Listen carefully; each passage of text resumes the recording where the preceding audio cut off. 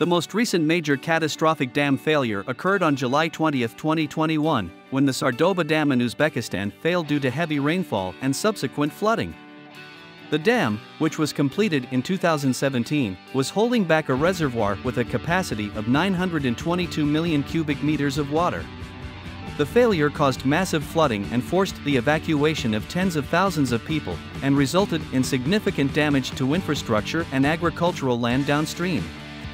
At least six people were killed and more than 30,000 were left homeless as a result of the disaster. The Sardoba Dam is a large earthfill embankment dam located on the Syr Darya River in the Jizak region of Uzbekistan.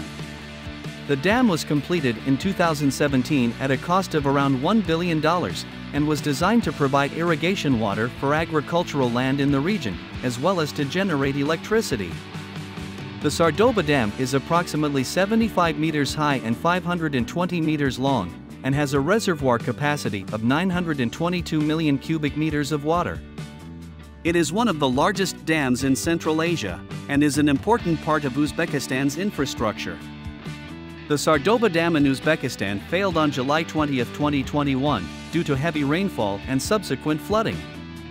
The failure was caused by a breach in one of the dam's spillways, which allowed water to overtop the embankment and erode the foundation of the dam. The breach in the spillway caused a large amount of water to be released from the reservoir, which resulted in massive flooding downstream.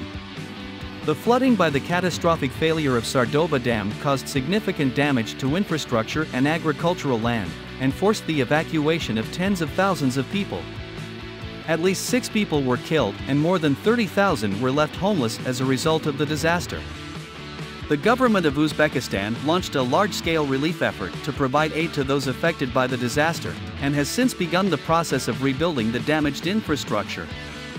The failure of the Sardoba Dam highlights the importance of proper design, construction, and maintenance of dams, particularly in areas that are prone to natural disasters such as heavy rainfall and flooding.